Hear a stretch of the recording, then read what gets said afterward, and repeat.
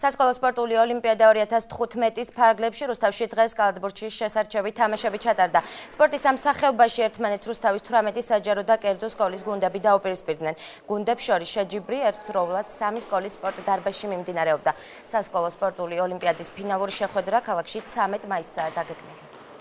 სტარტი აიღო სასკოლო ოლიმპიადის ფარგლებში კალათბურთმა, ესე ვთქვათ, სამ სკოლაში მიმდინარეობს პარალელ რეჟიმში თამაში. ეს არის მეშვიდე საჯარო სკოლა, მე-14 საჯარო სკოლა და პირველი საჯარო სკოლა. დღეს თქვენ ყოფილით მეშვიდე საჯარო სკოლაში, აქ ხდებიან სხვადასხვა სკოლის წარმომადგენლები და შემდგომში ყოველდღე უკვე გაგრძელდება ტურნირი.